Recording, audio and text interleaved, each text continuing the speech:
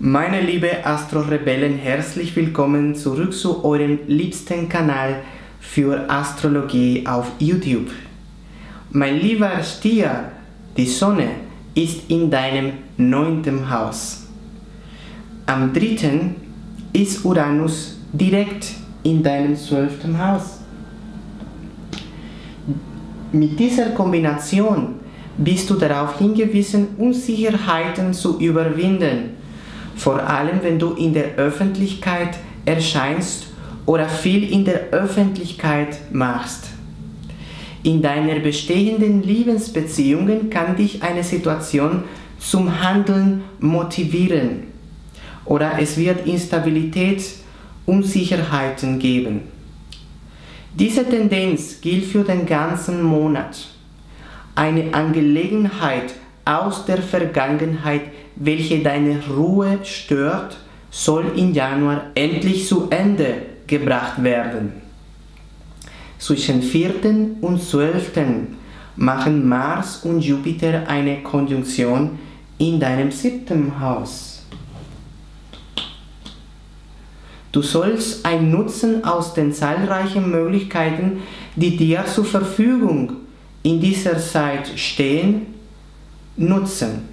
In der Liebe gibt es neue Chancen, Intimität und fröhliche Momente zu erleben, vor allem am 9.1. mit der Konjunktion zwischen Venus, Sonne und Pluto in deinem neunten Haus.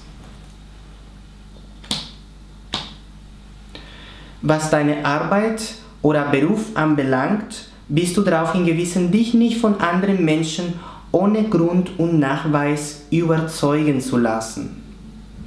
Möglicherweise machst du in dieser Zeit große Einkäufe oder Geldinvestitionen. Zwischen 11. und 18. sind Saturn und Merkur in Konjunktion in deinem achten Haus.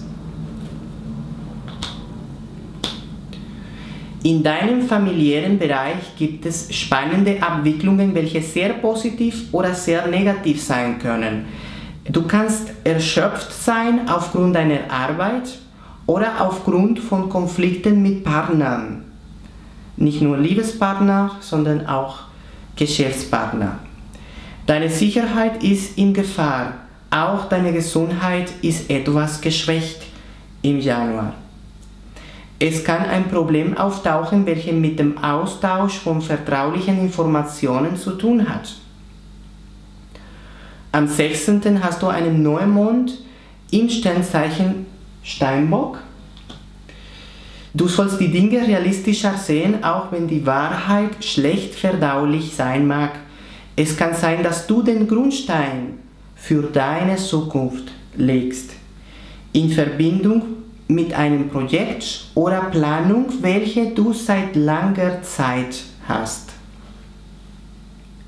Auch am 16. kommt Mars in deinem achten Haus. Also wir haben Mars und er geht in dein achtes Haus hinein. Eine große Rechnung wirst du ab dieser Zeit und bis zum Ende des Monats bekommen. Neue Abwicklungen in Beziehungen, welche wichtig für deine Zukunft sind, können auch im Januar auftauchen, mein lieber Stier. Zwischen 17. und 19. kommen Venus und Sonne zusammen in dein zehnte Haus des Berufes, ja? Du hast die Möglichkeit, dein soziales Umfeld durch deine Hilfsbereitschaft und Sympathie zu erweitern. Es ist möglich, dass du mit neuen Personen oder mit deinem Liebsten etwas Schönes unternimmst. Aber sei gewarnt, dass viel Kontakt und zu viel Aktivität mit anderen Menschen dich belasten wird. Ein bisschen Distanz soll man manchmal von anderen halten. Zwischen 22. und 28. sind Merkur und Pluto in Konjunktion. Und zwar in deinem neunten Haus.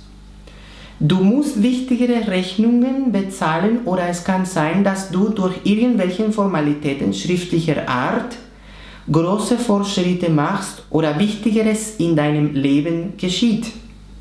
Du hast die Gelegenheit, tiefgreifende Kommunikation mit anderen zu haben.